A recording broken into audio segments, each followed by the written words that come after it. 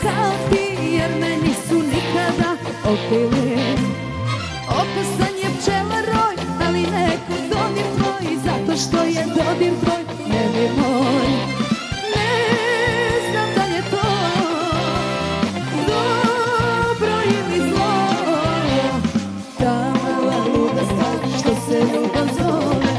Mi je kao gost, ulepšala snove.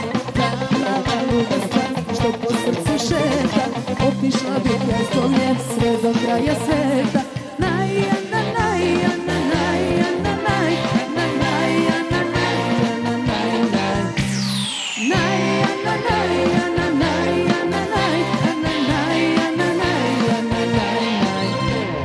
Bogovi su bogovi, veliki i svemoćni,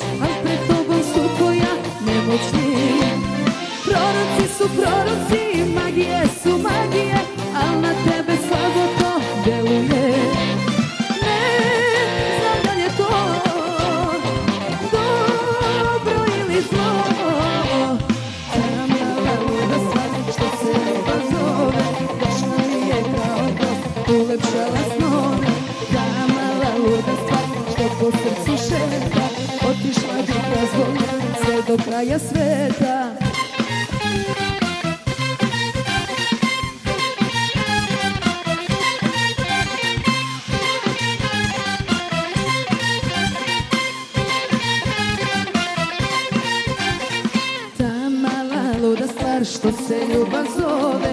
Došla mi je kao gost, ulepšala snove. Ta mala luda stvar što po srcu šeta Otišla bih ja nje sve do kraja sveta